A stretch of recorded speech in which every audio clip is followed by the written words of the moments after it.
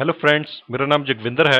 चलिए, इस वीडियो में हम सीखते हैं प्रॉक्सी सर्वर की इंस्टॉलेशन इस वीडियो में हम प्रॉक्सी सर्वर का एक थर्ड पार्टी सॉफ्टवेयर यूज़ कर रहे हैं, जिसका नाम है विनगेट विनगेट प्रॉक्सी का एक बेनिफिट ये है कि आप इसको विंडोज़ के किसी भी क्लाइंट बेस्ड ऑपरेटिंग सिस्टम के ऊपर इंस्टॉल कर सकते हैं, जैसे कि विंडोज़ एक्सपी विंडोज़ विस्टा या विंडोज़ 7 और इसका एक बेनिफिट ये भी है कि आप इसको थ्री यूज़र लाइसेंस के साथ फ्रीली यूज़ भी कर सकते हैं। तो आपको थ्री यूज़र लाइसेंस के लिए कोई एक्स्ट्रा चार्जेस नहीं पे करने पड़ते। तो अगर आप चाहते हैं कि एक बिल्कुल छोटे ऑफ़िस में किसी तरह की सिक्योरिटी प्रोवाइड करना या फिर डीएनएस कैशिंग वगैरह तो आप इसे यूज़ कर सकते हैं।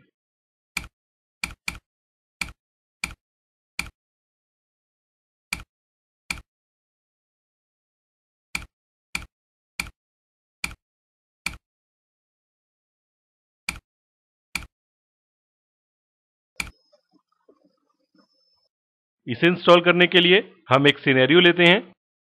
तो आपके सामने स्क्रीन पर एक सिनेरियो है, जो कि मेथड 4 है, जिसे हमने प्रॉक्सी सर्वर के लास्ट वीडियो में डिस्कस किया था।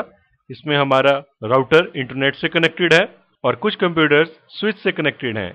इस राउटर और स्विच के बीच में हमने प्रॉक्सी सर्वर किया है, यानी कि इस प्रॉक्सी सर्वर के ऊपर दो एनआईसीज या नेटवर्क इंटरफेस कार्ड्स इंस्टॉल्ड हैं और इस प्रॉक्सी सर्वर का जो एनआईसी डीएसएल राउटर की तरफ़ फेस्ड है, उसके ऊपर हमने एक आईपी एड्रेस कॉन्फ़िगर किया है 192.168.1.25 डिफ़ॉल्ट मास्क सी क्लास वाला, और उसके बाद डीएसएल राउटर का एड्रेस जो कि एक गेटवे की तरह एक्ट कर रहा है 192.168.1.1 और डीएनएस सर्वर एड्रेस 8.8.8.8 इसके ऊपर कॉन्फ़िगर्ड है। इसी तरीके से इस प्रॉक्सी सर्वर के दूसरे इंटरफेस के ऊपर, जो कि क्लाइंट्स की तरफ़ फेसिंग है, यह स्विच से कनेक्टेड है, और इसी स्विच से दूसरे क्लाइंट्स भी कनेक्टेड हैं। हमने एक और आईपी एड्रेस कॉन्फ़िगर किया है 10.10.10.125 और जो उसका मास्क हमने यूज़ किया है, वो है 255.255.255.0 और इसी रेंज में से हम आईपी एड्रेसेस इन क्लाइंट्स को प्रोवाइड करेंगे। ये आईपी एड्रेस हम डायनेमिकली भी प्रोवाइड कर सकते हैं, यानी कि हमारा प्रॉक्सी सर्वर में एक ऑप्शन है कि अगर हम डीएससीपी की सर्विसेज़ इस पे एनेबल कर दें तो ये हमारे क्लाइंट्स को आईपी एड्रेसेस भी प्रोवाइड कर सकता है। और अगर आप चाहें तो आप स्टैटिकली भी ये आईपी एड्रेस अपने क्लाइंट्स को दे सकते हैं। इसके अलावा इन क्लाइंट्स के ऊपर जो इम्पोर्टेंट और ध्यान देने वाली बात है, वो ये है कि इसका गेटवे हमारे प्रॉक्सी सर्वर का इंटरफेस जो कि इन क्लाइंट्स की तरफ़ फेस्ड है, वो होगा। तो इन सभी के ऊपर हम जो गेटवे कॉन्फ़िगर करेंगे, वो होगा 10.10.10.125 क्योंकि इसी इंटरफेस के थ्रू ये सभी क्लाइंट्स बाकी दुनिया से या इंटरनेट से कनेक्ट होंगे। तो चलिए प्रॉक्सी सर्वर की इंस्टॉलेशन के लिए हम चलते हैं अपने विंडोज़ 7 सिस्टम के ऊपर।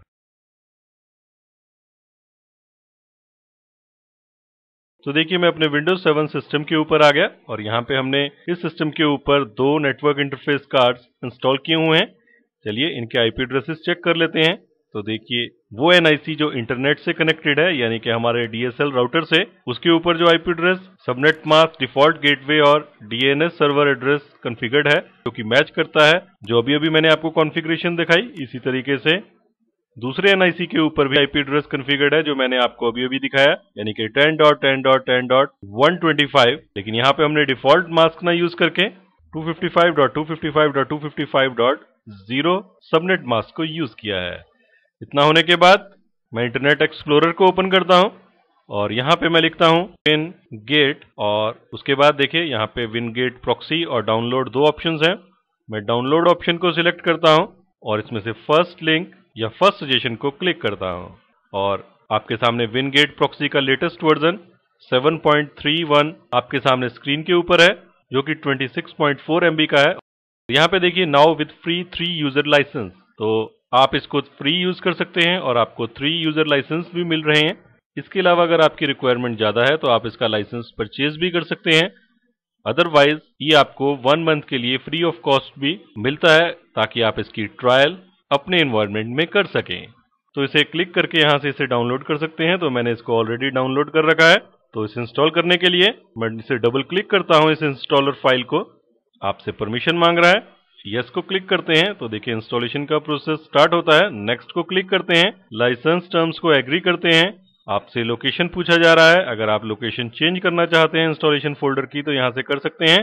स्पेस रिक्वायरमेंट के बारे में आपको बताया जा रहा है। नेक्स्ट को क्लिक करते हैं। यहाँ पे आपके सामने पैकेजेस आ रहे हैं। विनगेट सर्विसेज़ विनगेट मैनेजमेंट और विनगेट नेटवर्क ड्राइवर तो सभी डिफ़ॉल्ट सिलेक्टेड है। हम नेक्स्ट को क्लिक करते हैं। यहाँ पे आप अपने एडमिन का ईमेल एड्रेस एंटर कर सकते हैं। और कौन ये ईमेल्स या किसके बिहाफ पे ये एडमिनिस्ट्रेटिव अलर्ट्स भेजे जाएँगे, वो यहाँ पे आप एंटर कर सकते हैं। हम यहाँ पे बिना कोई ईमेल एड्रेस एंटर करें नेक्स्ट को क्लिक करते हैं और नेक्स्ट को क्लिक करके इंस्टॉलेशन का प्रोसेस स्टार्ट करते हैं। इस इंस्टॉलेशन के प्रोसेस में कुछ समय लगेगा तो उतनी देर के लिए हम वीडियो को पॉज करते हैं और जैसे ही ये कंप्लीट होता है, हम वीडियो कंटिन्यू करेंगे। तो देखिए इंस्टॉलेशन का प्रोसेस कंप्लीट हो गया है। फिनिश बटन को क्लिक करते हैं। और इसकी कुछ सेटिंग्स सिस्टम को रिबूट करने के बाद ही अपडेट होंगी और ये फुली फंक्शनल रिबूट होने के बाद ही वर्क कर पाएगा तो हम इस सिस्टम को यस बटन को क्लिक करके रिबूट करते हैं। तो इसमें भी कुछ समय लगेगा तो उतनी देर के लिए मैं वीडियो को पॉज करता हूँ और जैसे ही ये रिबूट होता है वीडियो कंटिन्यू करेंगे। देखिए विंडोज़ 7 सिस्टम जो कि अब प्रॉक्सी सर्वर की तरह एक्ट करेगा रीस्टार्ट हो गया है। यहाँ पे देखिए मैं स्टार्ट को क्लिक करता हूँ और ऑल प्रोग्राम्स को क्लिक करता हूँ तो देखिए यहाँ पे विनगेट फोल्डर आपको दिखाई दे रहा है और यहाँ पे हमारे पास कुछ मैनेजमेंट टूल्स हैं। हम इसको यहाँ से अनइंस्टॉल कर सकते हैं। अनइंस्टॉल को क्लिक करके WinGate advanced options WinGate engine monitor WinGate management यहाँ पे आपको कई ऑप्शंस दिखाई दे रही हैं। हम शो हिडन आइकन्स को यहाँ से क्लिक करते हैं और यहाँ पे भी देखिए हमारे पास विनगेट इंजन रनिंग आपको दिखाई दे रहा है। मैं इसको यहाँ से भी क्लिक करके ओपन कर सकता हूँ। तो मैंने इसको डबल क्लिक किया तो देखिए, सबसे पहले आपसे पूछा जा रहा है कि रिमोट मैनेजमेंट कनेक्शन इसमें लोकल होस्ट यानी कि आप इसको मैनेज कर रहे हैं, इसी लोकल सिस्टम से मैं कनेक्ट करता हूँ। देखिए फ़र्स्ट टाइम ये स्टार्ट हो रहा है और आपके सामने देखिए लाइसेंस से रिलेटेड एक इन्फॉर्मेशन आ रही है कि ये करंटली अनलाइसेंस है और आपको इस लाइसेंस को परचेज करना होगा। हम ओके बटन को क्लिक करते हैं। अब यहाँ से आप ऑनलाइन होने चाहिए। अगर आप इसका लाइसेंस परचेज करना चाहते हैं या आप इसको रजिस्टर करवाना चाहते हैं तो इस समय हम ऑनलाइन हैं। हम यहाँ से नेक्स्ट बटन को क्लिक करते हैं।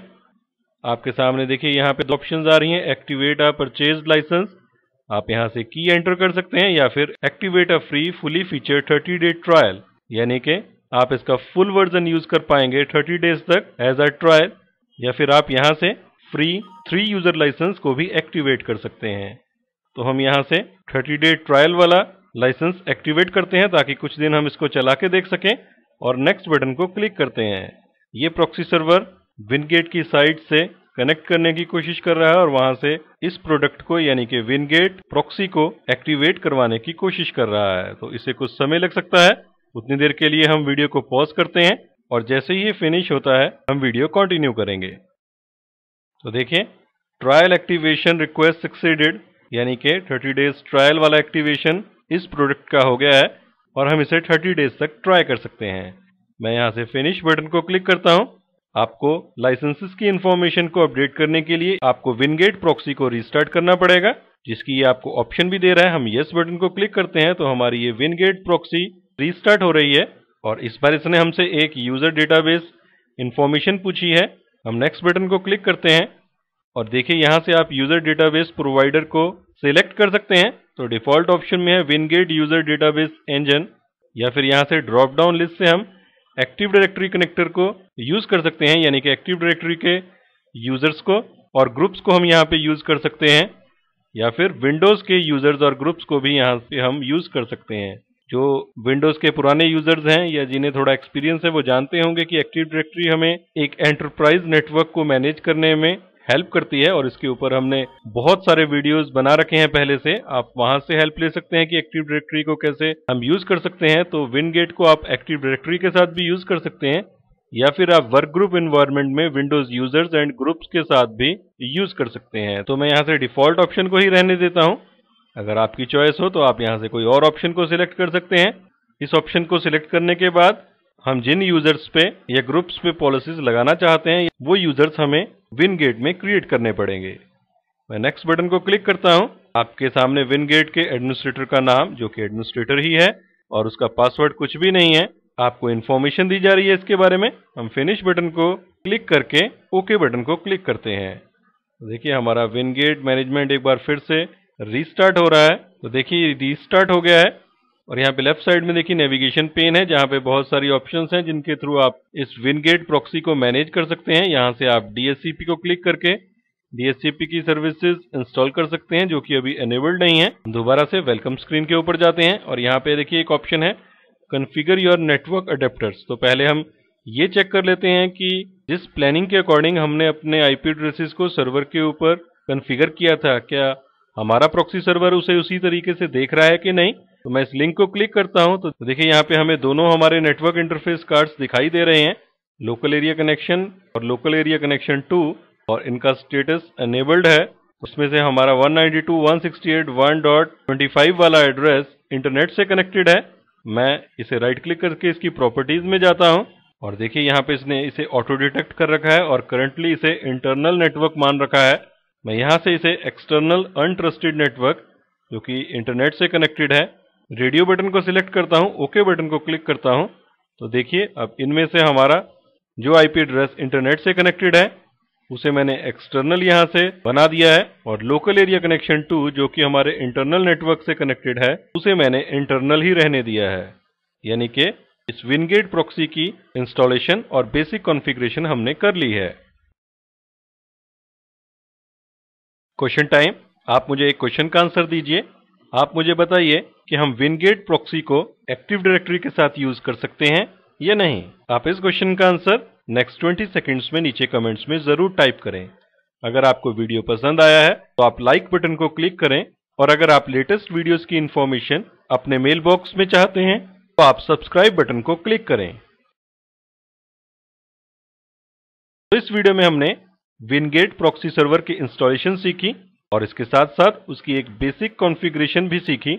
तो इस वीडियो में इतना ही। Thanks for listening